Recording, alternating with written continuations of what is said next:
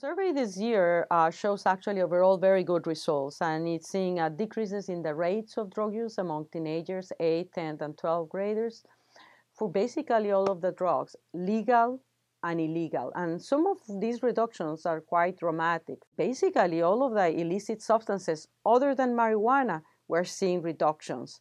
Some of those are more dramatic than others. For example, some of the synthetic drugs, which are very of great concern, not just because they are addictive, but very toxic, like synthetic cannabinoid spice, significant reductions, ecstasy, Molly, again, one of the largest reductions in patterns of drug use, and very low rates of the abuse of what we call bath salts.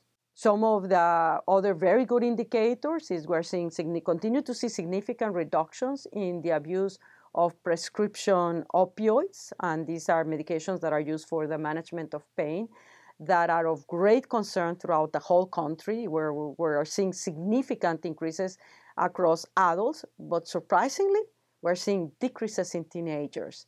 The use rates of marijuana uh, remain stable and high, and by the end of high school, uh, 44% of teenagers will have been exposed to marijuana.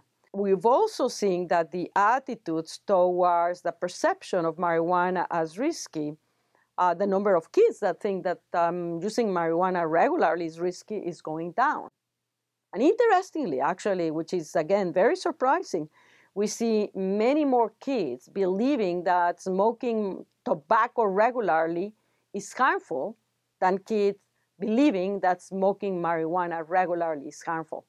The message is uh, we are seeing uh, significant advances on the rate of drug use in our country that, in a way, reflect the prevention interventions, um, most notable for tobacco and for alcohol.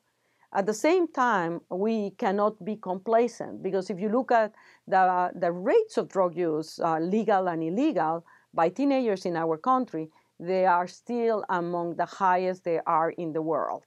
So we still have a lot to do in terms of prevention for drug use, and particularly in adolescents whose brain is very vulnerable to adverse effects of drugs, and, and they're also much more vulnerable to transitioning into addiction if they in, initiate drug, drug experimentation.